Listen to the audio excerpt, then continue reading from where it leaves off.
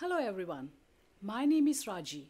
I'm one of the diabetes specialist nurse from Lincoln County Hospital. Today I'm going to show how to test your blood glucose level. Along with your blood glucose meter, you will be provided with a blood glucose monitoring diary and a blood form.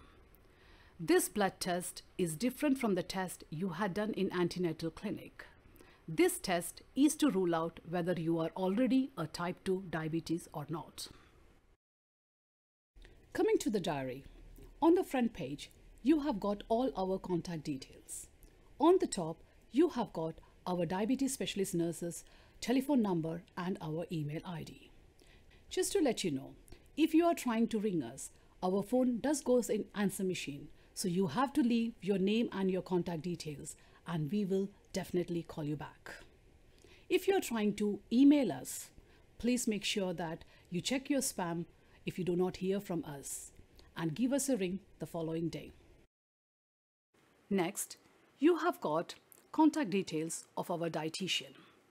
If you have got any questions related to your diet, please do contact our dietitian. On the bottom of the page, you have your target blood glucose levels your fasting blood glucose level should be under 5.3 and one hour post meal reading should be under 7.8. That means you will be testing your blood glucose level four times a day. If you turn your page round, you will come across this page.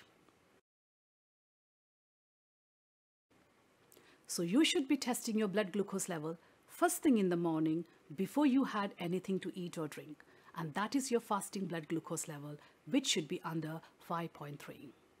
Thereafter, you should test your blood glucose level one hour after your breakfast, one hour after your lunch, and one hour after your evening meal. And all your readings should be under 7.8. Coming to the end of the diary, there is a comment column.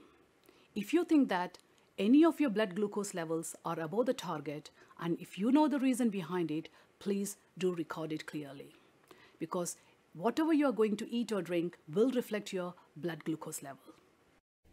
When to contact your diabetes team? If you think two out of three readings are above your target, please do contact your diabetes nurses. Or if you think your blood glucose levels are randomly going above your target, please do contact the diabetes team. Or else, if you have got any questions related to your diabetes, please do contact us. Thank you very much.